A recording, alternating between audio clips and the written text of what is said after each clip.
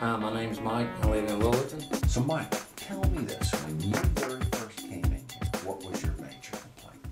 Uh, lower back pain with uh, uh, pain in my feet and legs.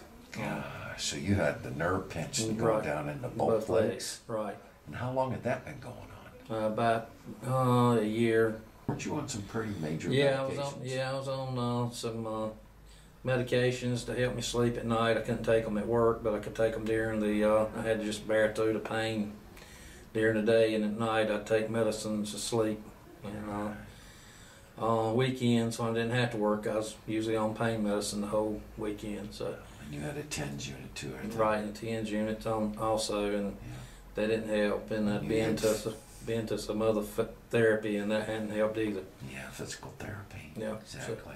So you gotten to the point where you were afraid that you couldn't mash the brake pedal on the car. Right, right. I got the, the brake and the gas pedal. It just was painful to even walk on my right foot and heel. All with that pain, felt like somebody had it on fire and burning. So.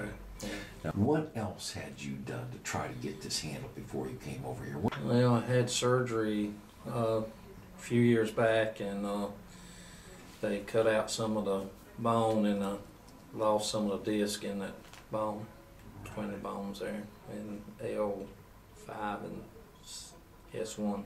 Yeah, and so here we are a few years later Mm-hmm. and right back where you started. Started from right, so you didn't want to go that way again. right, and trying to look at other opportunities. Uh, the other doctors had done sent me to surgeons, and uh, just so happens my mom was coming up here, and she recommended me. So, Great. So we were helping your mom so, too. right, hmm Yeah, and she's older than you. yeah, right.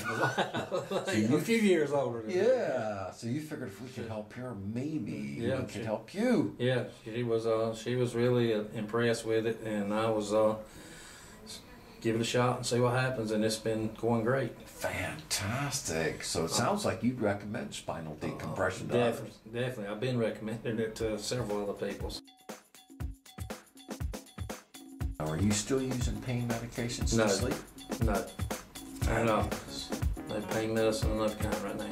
So we're doing we're doing real good.